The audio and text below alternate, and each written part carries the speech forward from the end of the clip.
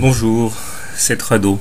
Voilà l'analyse euh, pour le graphe du lundi 6 juillet. Alors, l'analyse graphique d'abord montre que la séance de vendredi n'a pas véritablement permis de départager les intervenants.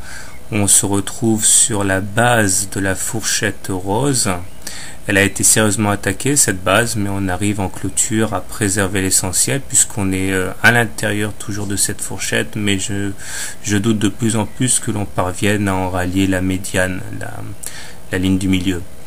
Euh, d'autant plus que cette euh, fourchette rose est intégrée dans une fourchette beaucoup plus large, la fourchette jaune, et qui, elle, claire, clairement pointe vers le sud.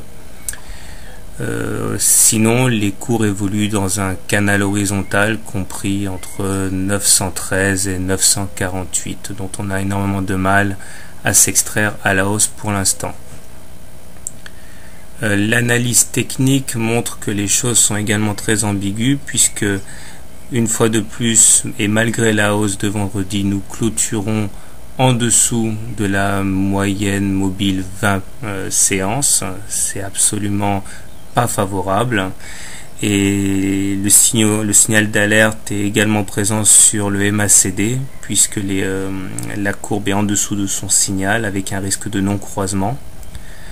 Euh, le momentum quant à lui lutte pour franchir la ligne de neutralité à zéro et on, y est presque mais ce n'est pas encore le cas.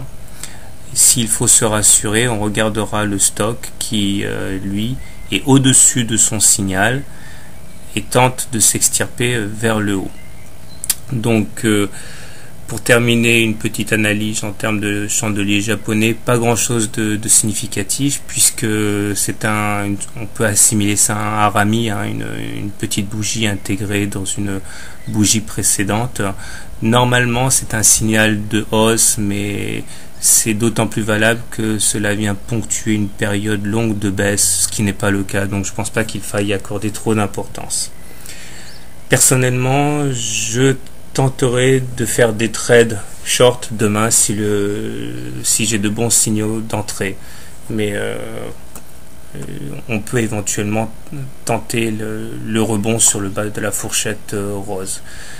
C'est fini pour l'analyse quotidienne du gold.